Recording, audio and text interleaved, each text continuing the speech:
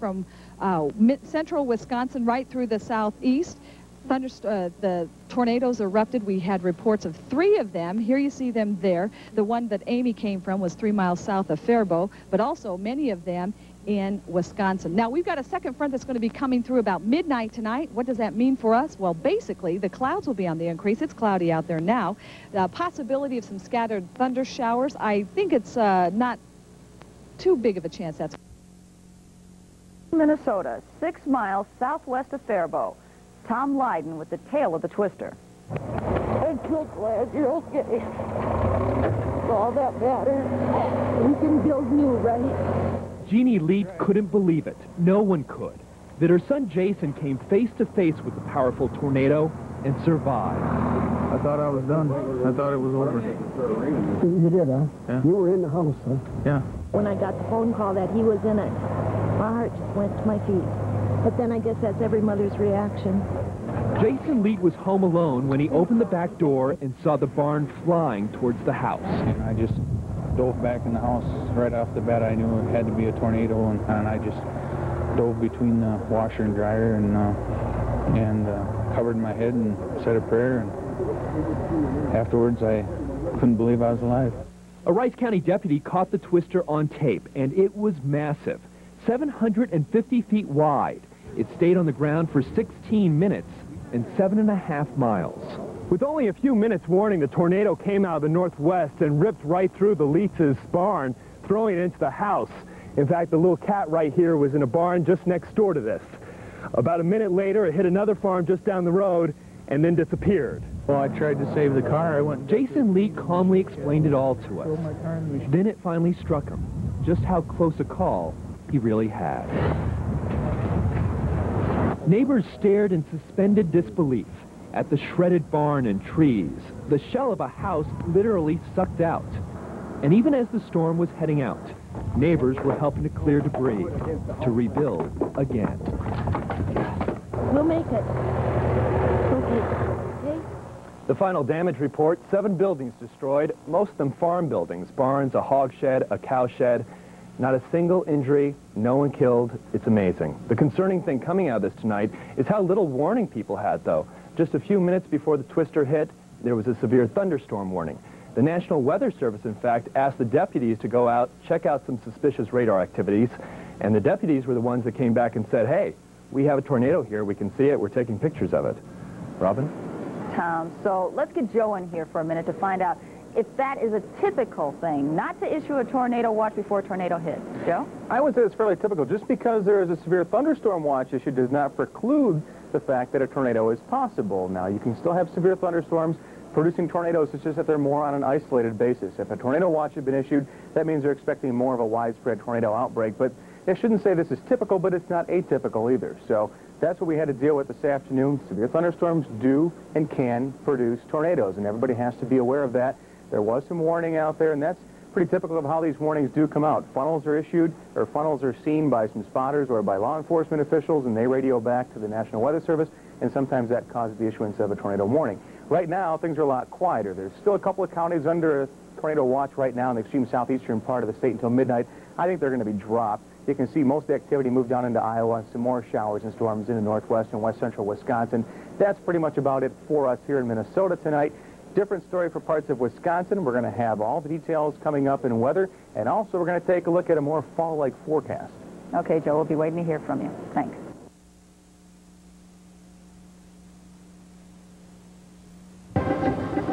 September is usually a time to start thinking about the fall harvest, but tonight some Minnesota farmers are picking up the pieces after a devastating tornado. Good evening. The tornado touched down late this afternoon just south of the metro area. And while there are no reports of injuries, the twister did considerable damage to farms and crops.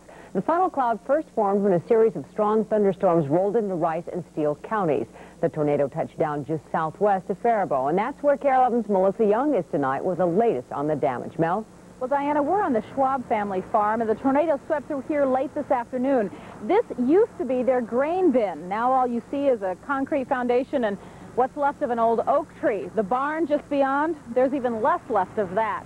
The tornado took all the residents here in southern Rice County quite by surprise. They expect tornadoes in May or June, But everyone says no one has ever seen anything quite like this.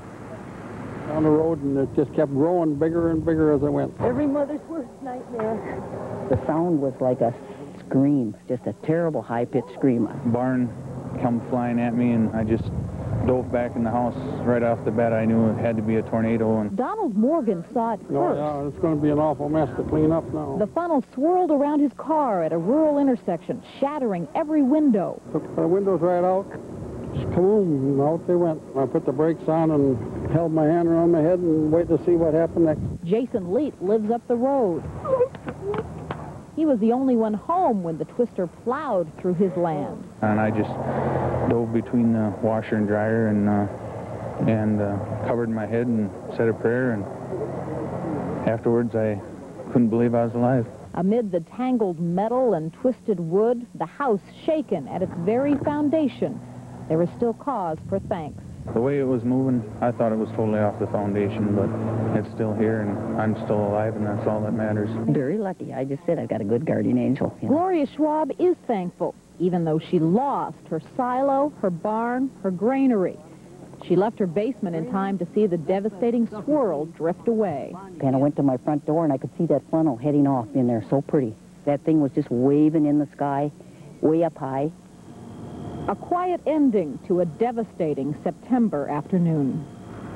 Now, the Steele-Waseca Electrical Cooperative is working overtime tonight trying to get the power lines restored to this area. They say this is the last main line they have to restore, and uh, they hope to have, uh, there'll be a couple folks who won't have power tonight, but otherwise, uh, including us, we don't have power right this second, but otherwise, uh, they should have the power restored later on tomorrow. Back to you. All right, Melissa, thank you very much.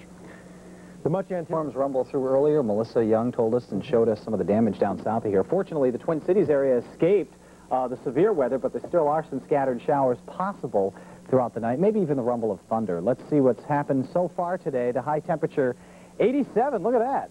87 degrees. Wow. Oh. I hope you got out and enjoyed it, Paul and Di, because we ain't gonna see we ain't gonna see that for a while. This morning's low is 72, and we've had just a little bit over five one hundredths of an inch of rain. Let's go on outside and see what's happening. There are actually some scattered showers now showing up on Super Doppler. We'll show you all of it in just a second. First, let's head on down to Twin Cities International and see what's going on at this hour. Temperature is still relatively mild at 73. Uh, we'll definitely get below 72, which is the low temperature so far today. We'll get way down below that tonight. 62 degrees the dew point. The northwest wind now and the rising barometer. All of these are indications that a change is a brewing. All right, let's go to Super Doppler and we can see exactly what's happening. Very light showers, very light scattered showers. See them here down toward Independence in Hennepin County and over into Carver County. They just kind of developed in the past couple of hours.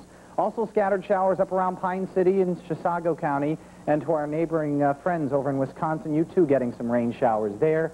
Everybody should see a couple of scattered showers, but there will not be any severe storms, as I told you at 5 and 6 tonight in the Twin Cities metro area, nor will there be any severe weather anywhere in the state. Temperatures look this way, 73 here, as I mentioned, and you can tell where the front is. Look at that. It drops to the 60s in St. Cloud. Brainerd is 61 with a shower, 55 with drizzle in Bemidji, and 53 degrees now it's down to at International Falls. Last night, we were looking out in the Dakotas for possible severe storm development, and they moved off and through the area this morning. They weren't severe, but we did have some thunderstorms around the metro area. They were not heavy. They were not severe. But this afternoon's action sure was. There it goes, though. It's leaving us. In its wake, this cloud mass, that's the cool air coming down on us, and it will feel downright chilly tomorrow with winds gusting to 35, possibly 40 miles per hour. And now for the good news. Hurricane Luis. Call him. Going the other way. I spotted it. I think the siren's going off. I don't know. Call? Huh? I don't know. There, it's going down. Karen, you want to go look at it? We'll go around. Look at it. It's coming up now. Just want to get in the back of my truck? Where are we going? Well, I don't know. We'll go around because it's going away from us. You can go out on this road, you'll get a better shot of it. Why don't you take it and go? I got these guys here. Who are they? Quality. I just got a new fridge. Because they're coming this way. I don't know. It's hard to tell, boy. It's not on the ground or anything. They just reported over the pager 60 mile an hour winds like in Medford. Well, that's why. There it goes. Damn it. Stay up, you bitch. There goes, There goes the sirens.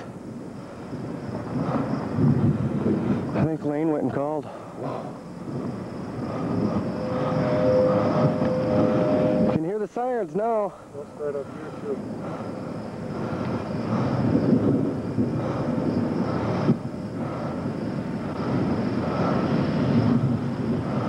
It's on the ground. Yeah. Bigger than shit. Holy cow. Look at that. Unbelievable. Oh yeah, can you see it? Lance, do me a favor. Go go call Lori at Hardy's and tell her that that thing's on their way. Look at it's on the ground now. 332-7525, Lance. All right, don't go off, Karen. Look at that. How far over is it? Well, it came across the pager. It was over by Medford somewhere. Heading towards the outlet center. Wow, it's just sitting there now. Look at that. Oh no. Oh my God. Can you get a better shot of it? Can we go up on a roof or something? Not really.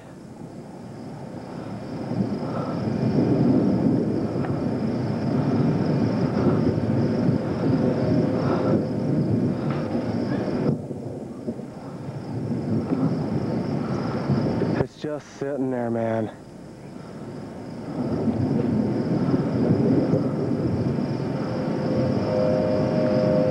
Are?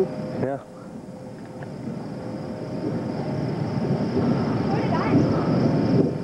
Where'd you just come from, Lance? Here, you want to see it? Oh, from Faribault.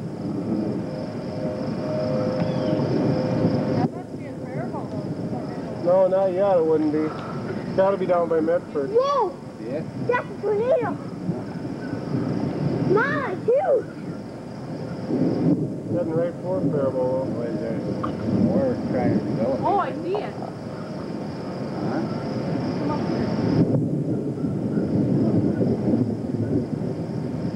Huh? Here, Lance, run this. What do I got to do? Is it going? Yeah. Let's go. Go up on like uh, Draper's Hill Lane. I That can't thing is believe huge, man. tornado sirens have it going off. All right, Morristown's listen. are going off. Yeah, it's going them. away from us, so that's a good thing. Did the sheriff's department know? How come the I water don't meter know. and shit doesn't go off? Nothing goes on. I tried calling the sheriff's department and I couldn't get through. Did they ring? Huh? Did it ring? Did Should have called 911. I did. It didn't go. It was busy.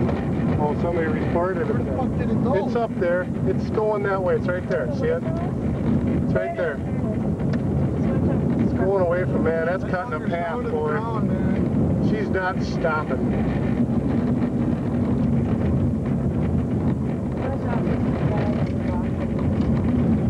Passing. Best place to go would be like up.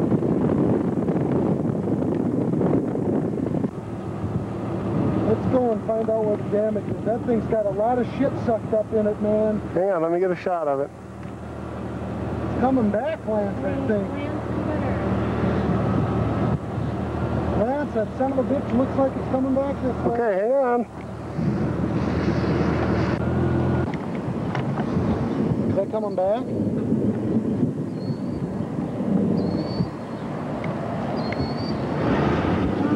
Come on, let's... I think it's coming back. Oh. Look at the top of the clouds. Here comes the sheriff behind me.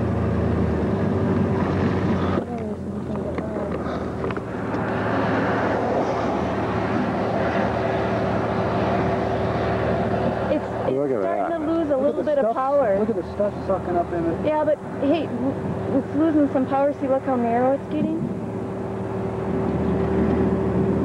But it looks like it might be coming back this way. That thing's been on the ground for a long time. I'll bet you close to 10 minutes. Did it go away? No, Ah. no, it's starting to come back up in the clouds now. There it goes. There it goes. There's the tail. See it? There's still a. Nope, it's back down again. Yep, went back down again. It's weakening. Mm-hmm. We'll be all right here, I think. Oh, the base is getting fat again. There it goes.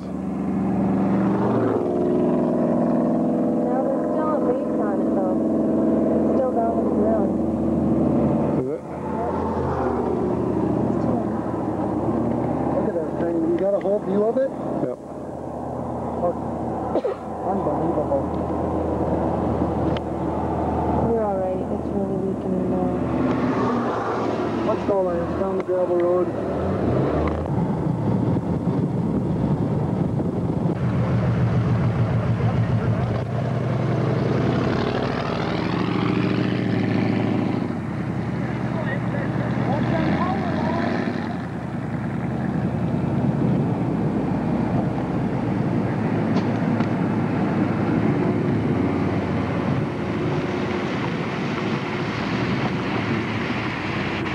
There's a power line across the road up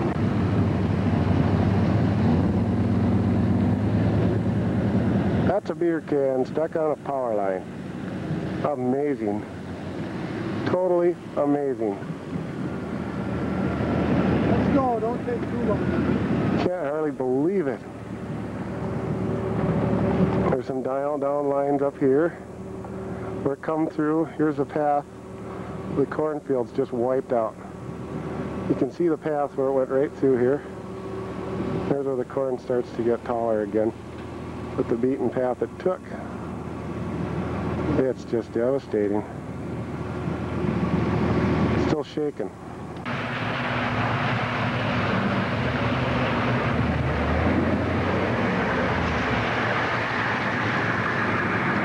Holy cow.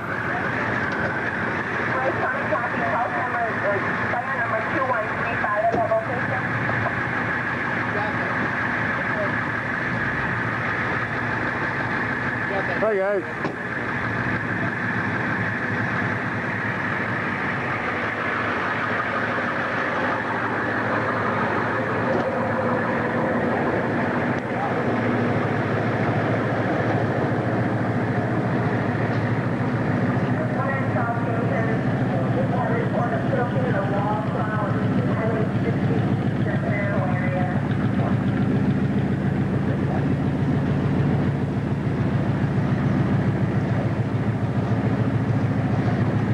Capers, creepers, where'd that come from? I know of it.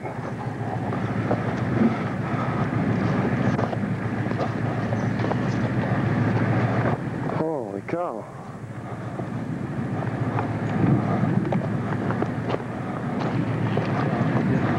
Just mangled.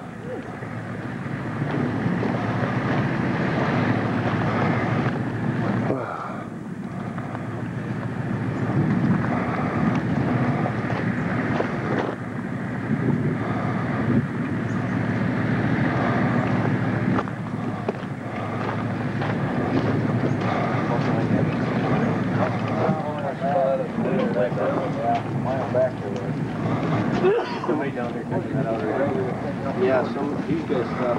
Did they?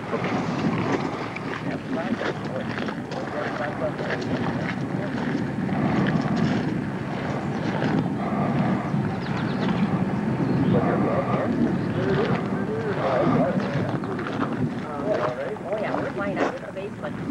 You know, with the basement and, yeah. And uh, terrible training sounds.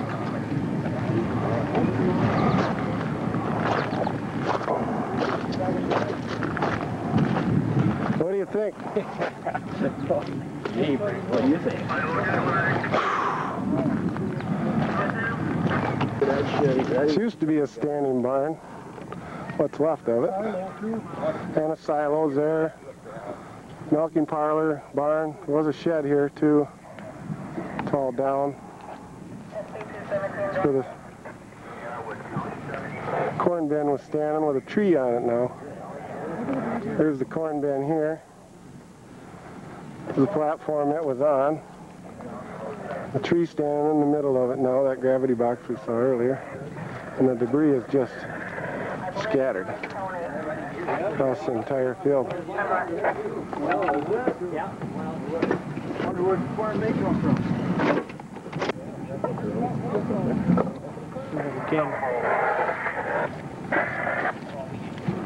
Hold All the rails from it. It's just amazing.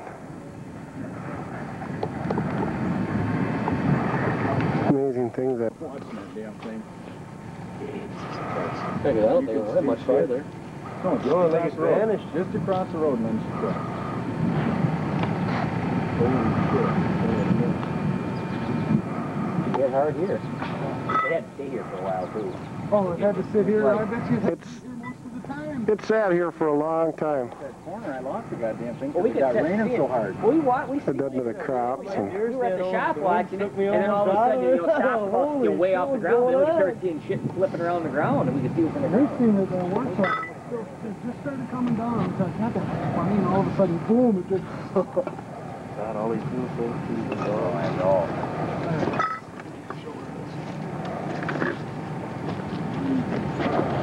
The ball tank's laying down there. Like, There's the gra no, it's gravity boxes, there's the running gears for gravity boxes out in the field. Well, the gravity box is right back here. If one of them's One's there, in the one's in yard, the front yard. one's in the yard, one's there's the running gears for them. Like somebody gets crunched in the Way out there. Here, we'll get a good look at I it. got the dryer. There's the running gear for them.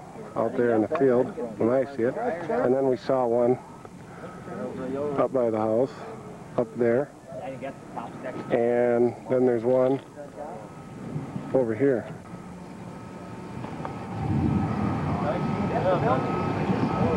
Just see the path it cut. Yep.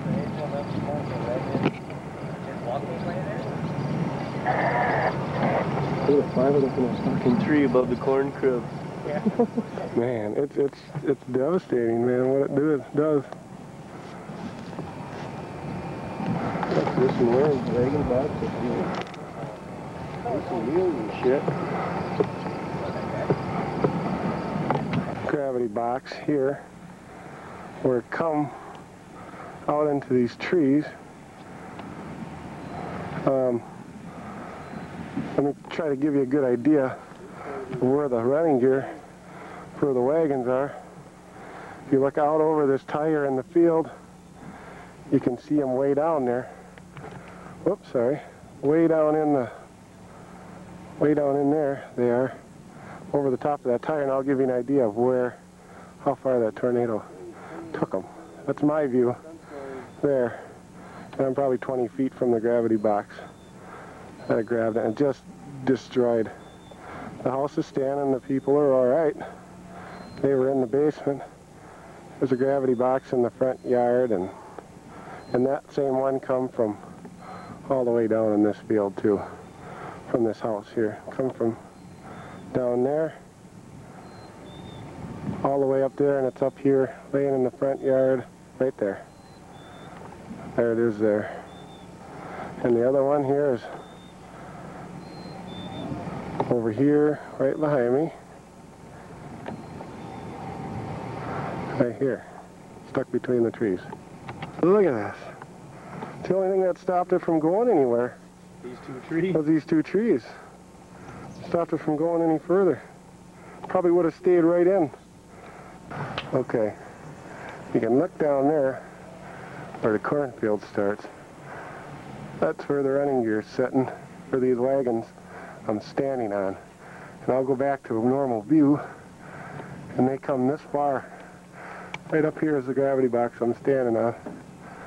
And that's how far they come from that tornado. You can see, uh, let's see if I can get it here. There's a tire in the field right there. That's where they come. The tree with apples on it yet. A lot of them on the ground. Wiped out the whole crop and that, and yet you have a tree like this about 20 yards away with that gravity box setting up in the front yard. Yeah. Isn't it? Oh, that was flying. Let's get an idea.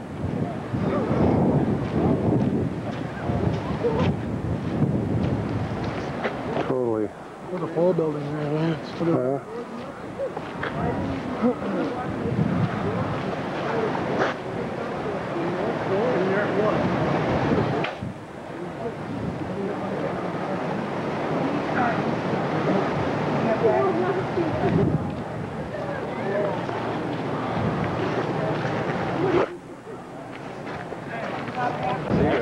For the- Uh, right where it come across. Jason was laying on the floor, in the main floor. He said he, he heard it, he opened the front door.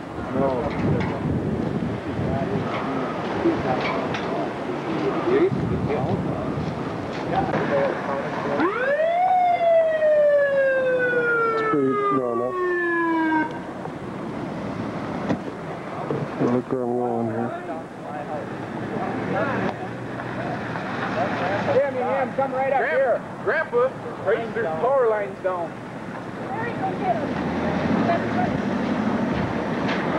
All right, hang in there.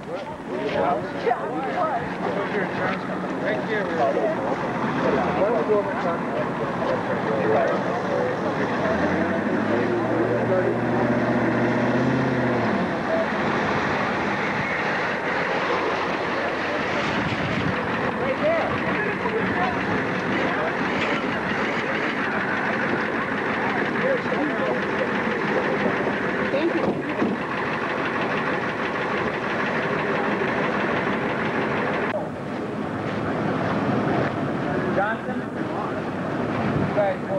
We're going. We haven't caused any problems. Now's the time to the leave. Let's go. Come on. Come on. Time to turn the camera off and let's go. Let's go. Oh, crime oh, scene. goddamn roads Storm scene. scene. Thank you very much Storm for leaving. Never do that again. Pull off on that corner, okay? Over here, this way.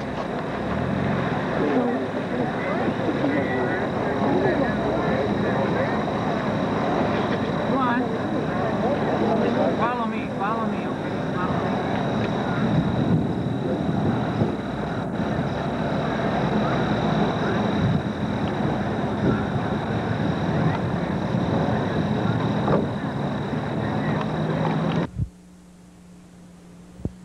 Our top story tonight, a twister tears through the Minnesota countryside, flattening homes, trees,